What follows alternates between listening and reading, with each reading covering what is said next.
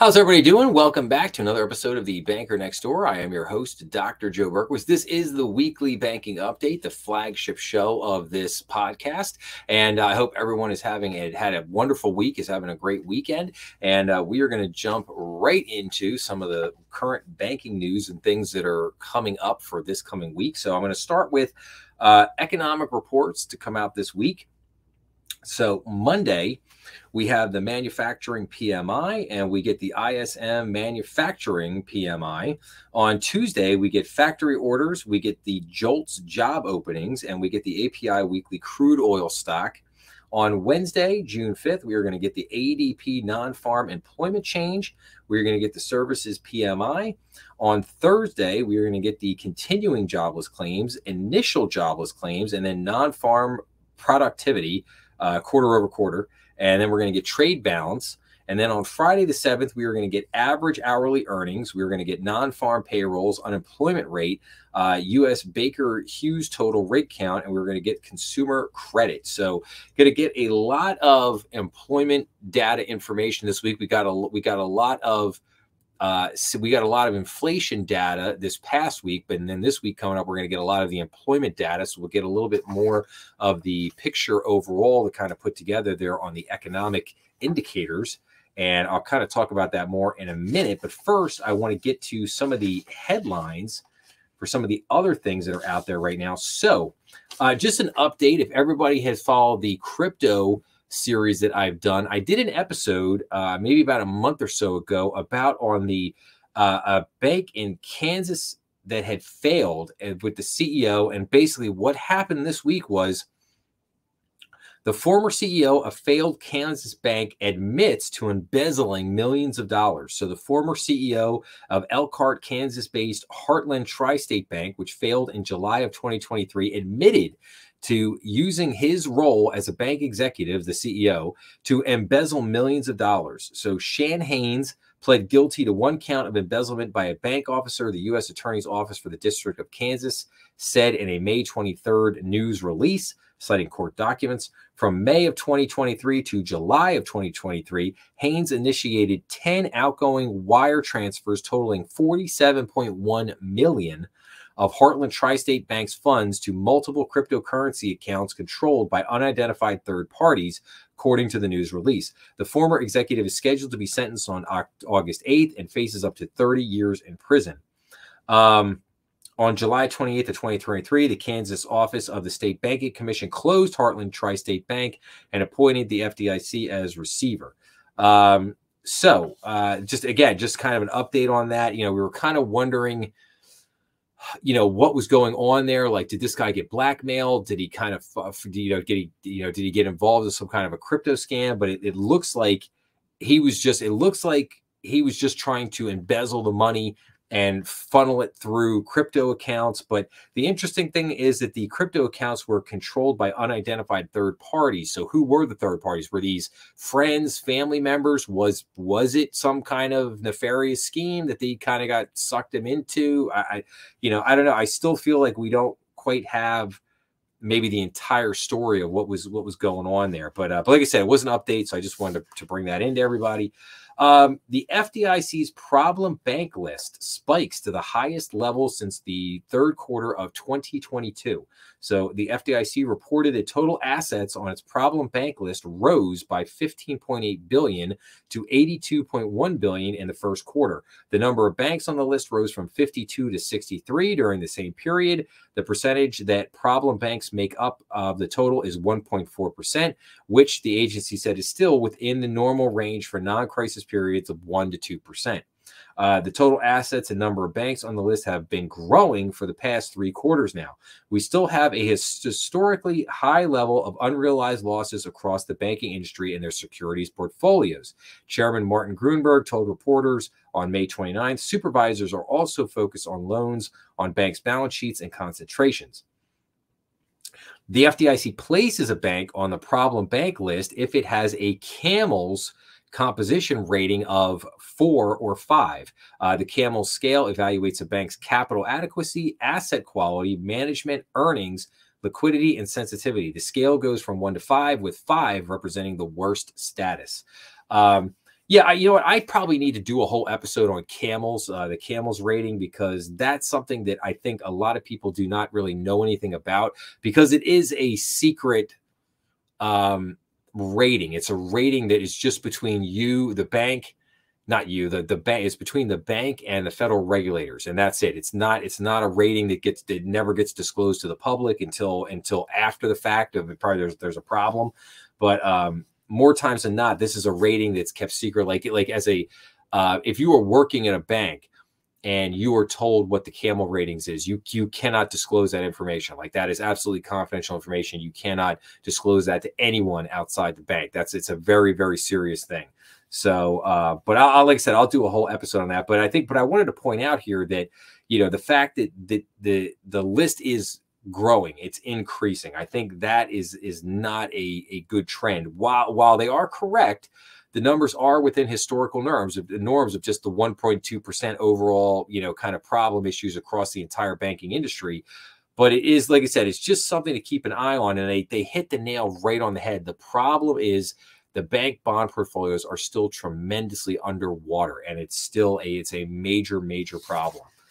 Um okay uh, JP Morgan's CEO, uh, basically Jamie Dimon, uh, likened JP Morgan Chase Company to an elite military unit with an ingrained culture and capabilities that will endure once he steps down from the job. The 60 year old executive who has served as CEO for nearly 20 years, has recently put boundaries around when the succession process might happen, saying at the bank's investor day that the timetable is not five years anymore. That could be four years, it could be three, it could be three and a half, could be four and a half, it could be two and a half. It's up to the board. He said at an investor conference May 29th, he said the bank has a strong bench of potential successors and structures in place that will enable it to continue to perform well. Um, my guess is two years. My guess is two. He's 68. My guess is two years. When he's 70, he's done. Uh, basically, they probably already have the plan in place. They probably already know who's going to be taking over. They just haven't announced it yet. I mean, banks, especially big banks, I mean, when they do these succession things, they like to do them very methodically over as long, kind of a long a period as they can, normally over a couple year period of time. Um, you never want to do it quick. You never want to do it within like a couple months or something like that. It's always, it needs to be very planned out and very orchestrated um, yeah, you got to telegraph a lot of this stuff to the market. It's just just how these things are done. Uh, Jamie Dimon, no doubt, is an absolute a legend in the banking business. Um, you know, the the the the guy just has accomplished so much in his career. Um, I'll probably do. I got a great book on Jamie Dimon, a couple actually a couple books on Jamie Dimon and kind of his career and stuff like that. And, and I, I, would definitely be, uh, I think, a pretty cool episode one day to to kind of talk about his career and and and kind of how he got to be how he got to JP Morgan, how he got to be the CEO, what it kind of happened there. Um, you know, really interesting guy, really extraordinary guy. Just again, whether you like him, don't like him, whatever, the guy, like I said, the guy will be a legend in the banking business. The banking, you know, books will be, you know, he'll be talked about for many, many, many years to come. He's had just that kind of career. Um, you know, so so like I said, so interesting. So just things to keep an eye at. Um, it could be a cool summer for the U.S. economy, inflation reports suggest. So, a report on consumer spending and inflation showed incomes aren't keeping up with prices as consumers lost buying power in April. Consumer spending decelerated, suggesting people are cutting back as price pressures uh, household budgets. Uh, businesses may become reluctant to raise prices as their customers become more budget conscious, economists uh, said. So yeah, so basically I'll have a little bit more on that in just a minute in terms of some of those numbers, but uh, the consumer basically is is tightening that belt uh, as the inflation is just really starting to hammer people. Uh, tamer inflation in April revives hopes for interest rate cuts. So inflation was relatively tame in April, in line with forecasters' expectations, an encouraging sign for the prospect of a possible interest rate cut by the Federal Reserve later in the year. The Fed, which has been keeping rates uh, keeping rates high to stifle inflation, could get breathing room for rate cuts if cooler inflation persists for several months. Financial markets are uh, pricing in better than a 50% chance of a rate cut by September. So, yeah, we shall uh, we shall see. Uh, I've kind of talked a lot uh, about basically how the Fed is in quite the pickle um, if they cut interest rates, they run the risk of inflation spiking back up. I do not believe, and I've said this many times, inflation is not going back to 2%. You know, inflation has been hovering around, you know, high twos, low threes, like kind of that 2.8 to 3.4% range. Um, I think that's where inflation remains. Um, you know, and the Fed runs the risk if they cut rates you know, kind of too quickly and too much, they run the risk of reigniting in inflation, which would be far worse, far worse than if they just leave the rates where they're at. So, I, you know, it, it is a conundrum because because basically the the market will, uh, if the market does deteriorate, again, that's not necessarily a bad thing. It's kind of what you want because you need to, you truly need to beat that inflation down. And if you beat the inflation down, that means the market's got to kind of deteriorate and unemployment's got to go up. Um, and but but in the long run that in the short run that's a bad thing in the long run that's a good thing i think the worst thing that the fed could do is repeat its mistakes from the 1970s which is basically cut rates too soon and then you have this massive spike up in inflation which just you know, which just will will absolutely bury the consumer. And that's and that's kind of game over at that point because now the Fed would be forced to to go right back and jack the rates right back up. And now you're talking about a Paul Volcker situation where they might have to rate, raise rates up to 9, 10, 12, 15% to finally beat back and get that inflation back down. And you may be looking at a, a horrible recession, like a 1980, 1981 type recession, um, which would be, which would be again, which would be very, very bad for the country. Okay, so all right, so let's get into some news here, some other news rather. Uh, Fitzgerald, uh, Fitzgerald Securities filed a lawsuit against IT Convergence Inc. for alleged extortion. Bloomberg News reported. Uh, IT Convergence has hosted some of Cantor's most critical and sensitive data since 2013, but its contract expired in mid 2024. According to the complaint, Cantor planned to migrate its data, including financial books and records, for the firm and affiliates from IT Convergence to an Oracle platform starting June 1st. However, IT Convergence demanded an immediate wire transfer of more than 700,000 in invented costs and fees that Cantor never owned and did not cooperate with the transition process, Cantor alleged. So, interesting situation there. Uh, the FDIC has terminated the special committee it formed in late 2023 to oversee an independent third party review of the agency's workplace culture. Uh, the special committee was terminated effective May 30th following the completion of the review that was conducted by Cleary, Gottlieb, Steen, and Hamilton. Uh, the review found that the FDIC failed to provide a workplace safe from sexual harassment, discrimination, and other interpersonal misconduct for far too many employees and for far too long. Um, but yet Martin Gruenberg still has not resigned. If you if you go back to last week, I did an episode called the FDIC, so-called chaos at the FDIC. So if you're not familiar with this story and what's been happening with the FDIC, please go back and check out that episode. Um, but I will keep everybody updated on what happens there at the FDIC and as that continues to unfold. Uh, the CFPB launched a public inquiry into junk fees that are increasing mortgage closing costs. Uh, the CFPB's request for information seeks input from the public, including borrowers and lenders, about how mortgage closing costs may be inflated and constraining the mortgage lending market, among other things. The CFPB wants information on which costs have increased most in recent years and the reasons for such increases, including the rise in cost for credit reports and credit scores. So, that's a very interesting one because yes, I, I would have a tendency to say that I think closing costs for for buying a property or even selling a property are, are way too high. Um, however, the cost the question becomes like, well, what are you going to bring down? You know, the title company has its fees, realtors have their fees, the bank has their fees. Um, you know, everybody's got their cost. Of, there's everybody's got their cost of doing business. You know, and if and if prices have gone up, you know, if the cost of credit reports has gone up, if the cost of appraisals has gone up, if the cost of title insurance has gone up, if the bank's fees have gone up, it's all been because of inflation. Uh, you know, the inflationary pressures have pushed the cost of all this stuff up. Um, you know, so again, kind of interesting thing to think about there. Uh, definitely merits probably a little more conversation. Anyway, Visa and MasterCard agreed to pay a $197 million fee to settle a class action lawsuit alleging the company's ATM network rules caused millions of consumers to pay artificially high amounts of access fees since 2007, Reuters reported. Uh, Visa will pay 104 million and MasterCard will pay 98 million in the settlement, and the defendant's earlier settlement claims for uh, 66 million, the report said. Two other related cases are reportedly pending in Washington. Washington, D.C., the federal court. So uh, Visa and MasterCard ripped a whole lot of people off. I'm shocked. Just can't believe it. Couldn't believe that they would do something like that. Uh, anyway, uh, big U.S. banks' exposure to commercial real estate risks could be higher than regulators appreciate. As a significant part of the CRE exposure is indirect via credit line provision to real estate investment trusts or REITs, which tend to utilize credit lines higher than non financial corporations and other non banking financial institutions during wider stress in the economy, according to a new study. Researchers said regulators must incorporate this exposure in bank capital stress tests. Interesting. Okay.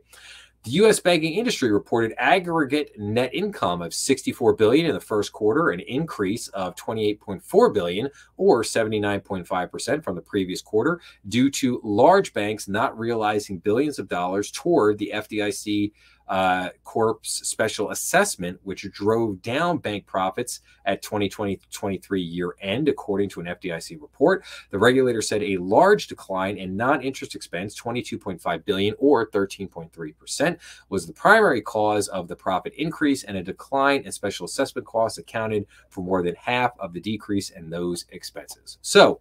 Um, the banking crisis last year, in which four banks failed, uh, basically the FDIC came out and said that they had to do a special assessment on larger banks. I think banks over 10 billion, um, in order to replenish the FDIC fund, and that is what that was all about. So the Federal Reserve Bank of Cleveland named Beth Hammack the next president and CEO. Hammack, who most recently served as co-head of global financing at Goldman Sachs, will succeed Loretta Mester, uh, whose tenure at the Cleveland Fed, Cleveland Fed will conclude on June 30th. Royal Bank of Canada said it is launching its Truth and Reconciliation Office under its new Indigenous banking strategy team called RBC Origins wow, I could not. That's the, the Ministry of Truth from 1985, 1984. Sorry, 1985, 1984. Uh, wow, how how Orwellian can you possibly get? Uh, BlackRock's iShares Bitcoin Trust is now the world's biggest Bitcoin exchange traded fund, garnering 19.68 billion in total assets since its U.S. listing on January 11th. Uh, Bloomberg News reported BlackRock's ETF overtook Grayscale Investments Bitcoin Trust, which has 19.65 billion.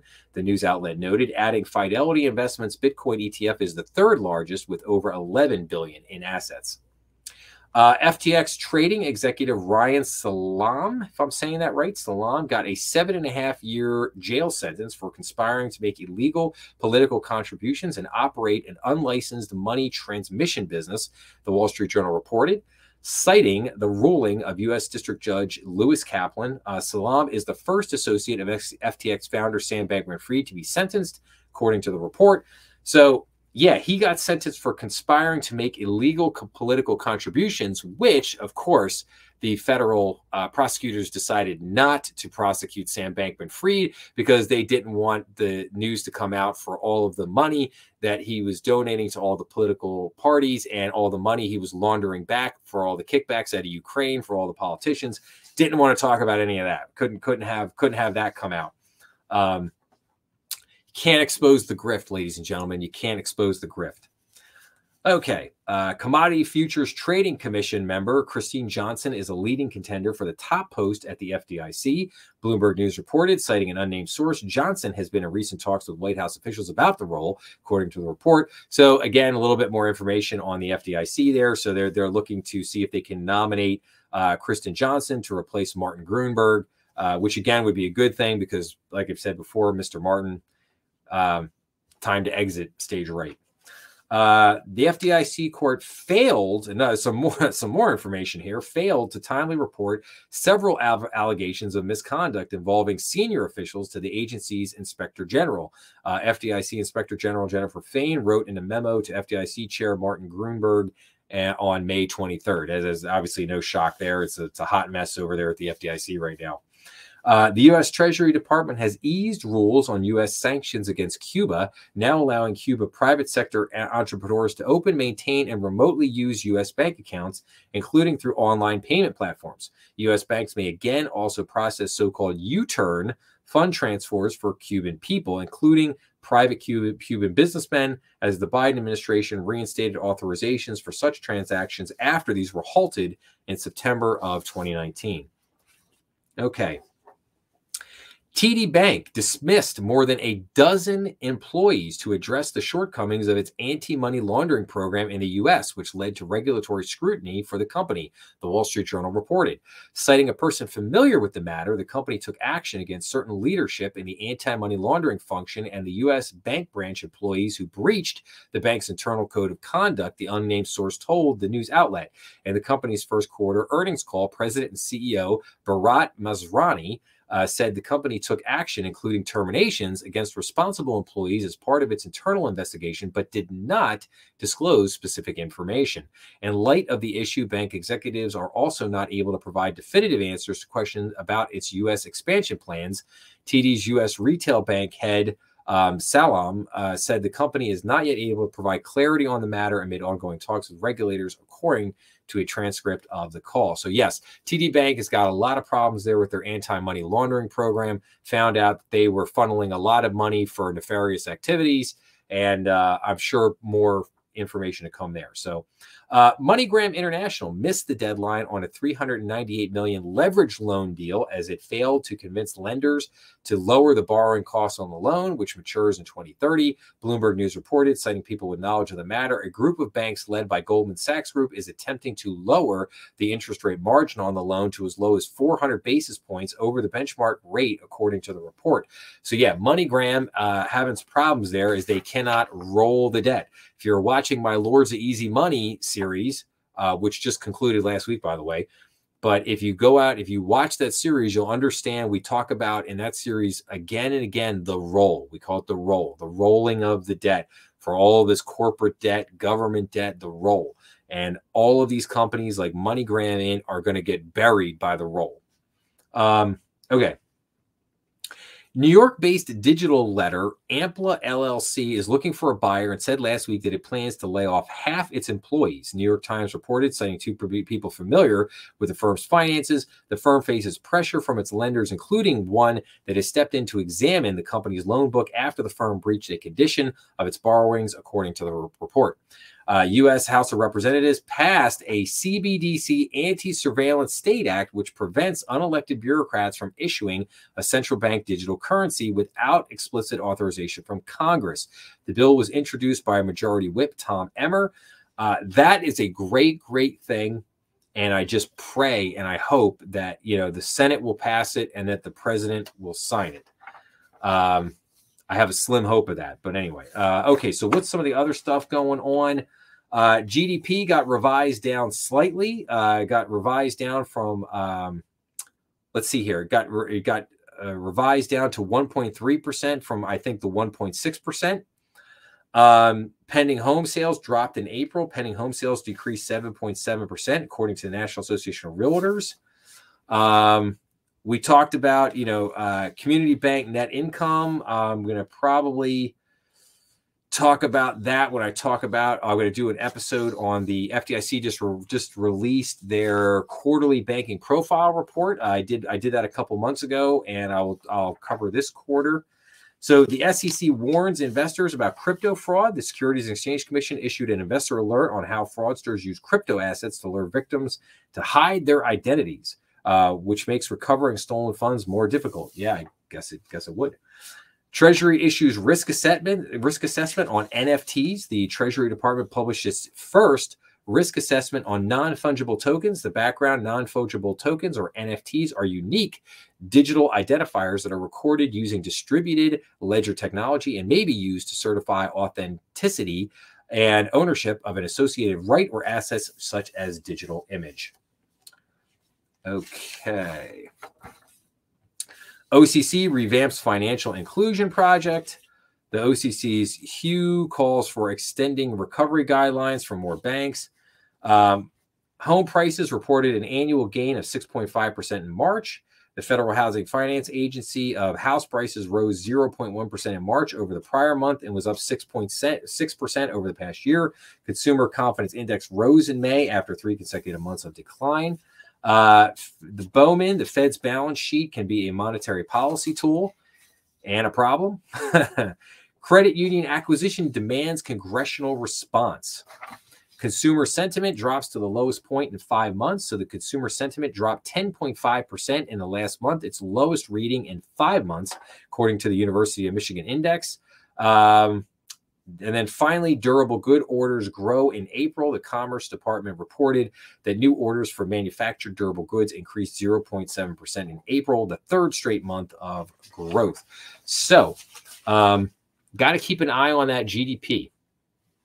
The government has been basically buying uh, that growth with all of the spending. And once that spending stops or goes out the window, uh, then that's a obviously a, a major problem because the GDP is going to go negative right into the toilet.